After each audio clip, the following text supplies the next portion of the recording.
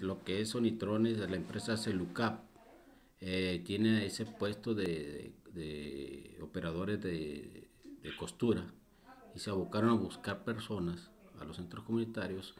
y, ya, encontraron 20 personas que ya las contrataron y, y, actualmente ya están dentro de esa empresa porque sí reunieron todos los requisitos y el perfil que ellos necesitan para ser operadores de costura dentro de las tomaquilas. Y esa, y esa misma temática que se utilizó en un centro comunitario se van a, se van a aplicar en los demás centros comunitarios donde ya están eh, capacitándose las personas en el área de costura. ¿Habrá con este tipo de,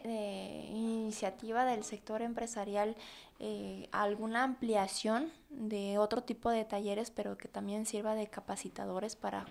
los buscadores de talentos, por así decirlo? Pues eh, pues ahorita como lo vimos, los notamos muy convencidos, muy convencidos de que la mano de obra que ellos captaron en el centro comunitarios, pues es buena. Entonces vamos a ver si ellos tienen más propuestas para,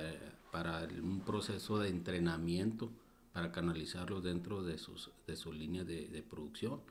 Entonces para mí ha sido una sorpresa de que se, le dimos una apertura a la empresa Sonitrones y, y entre los dos pues se, eh, nos estamos beneficiando.